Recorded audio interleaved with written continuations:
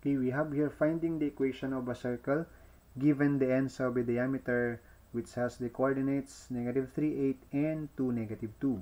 So I'm going to show the relationship of this. For us to identify the equation of the circle is of course there you have the diagram.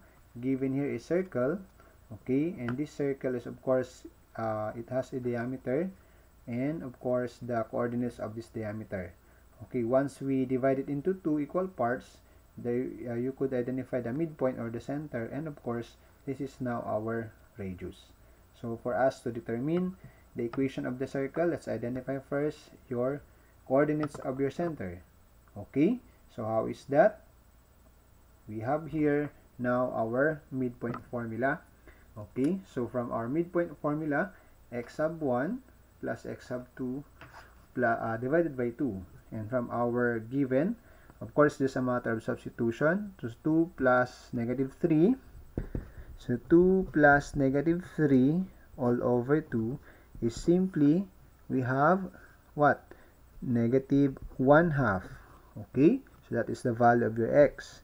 Okay afterwards you are going to solve for the value of your y for the coordinates of your uh, midpoint is simply negative 2 plus 8 so negative 2 plus 8 all over 2 which is 6 over 2 or simply it's 3 so this is now our value of our y which is 3 so these coordinates now of your midpoint which is negative 1 half and 3 this becomes now your center of your circle. So again, negative 1 half and 3 is the, the coordinates of your center. So out of our diagram a while ago, this midpoint now becomes the center of our circle. So we could now solve for the length of your radius from this center to this end of the diameter or from this center to this end of this diameter. Either of the two. But I'm going to choose, okay, I'm going to choose now our uh, for the length of the radius to solve for the distance formula using the center and of course uh, this coordinate of your radius which is 2 negative 2 so I'll substitute from the given formula we have uh, we have negative 1 half negative 1 half minus 2 okay then square it plus okay you have y sub 1 is 3 then negative times negative is positive 2 square it. Okay? And then, of course, simplifying it further, negative 1 half minus 2 is simply, it's um, 5 halves. Okay? 5 halves square plus 3 plus 2 square is 5 square. Okay? Simplifying it further, 5 halves square is said to be 25 over 4. Okay? Plus, 5 square is said to be 25. So 25 over 4 plus 25 is said to be 125 over 4. This is now our R. The length of your radius is said to be square root of 125 over 4 units. Okay, are we going to simplify in decimal form? I guess not anymore.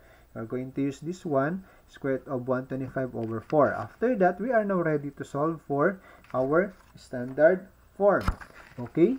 So our standard form is x minus h quantity square plus y minus k quantity square equals r square. Given the center from our midpoint a while ago, it's negative 1 half and 3. And from our radius, a while ago again, it's square root of 125 over 4. So it's just a matter of substitution it. Substituting from our formula, x, our value of h is negative, negative 1 half, it becomes positive 1 half, then square it.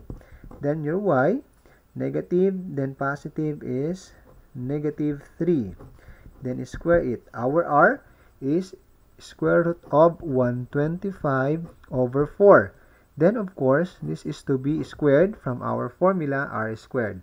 We all know that once we squared a radical sign automatically it will be cancelled out. So if you multiply it further x plus one, uh, 1 half quantity square plus y minus 3 quantity square is said to be 125 over 4. This is now our equation for our given situation or condition which is our diameter. Okay, so again, the equation of the circle given the ends of the diameter.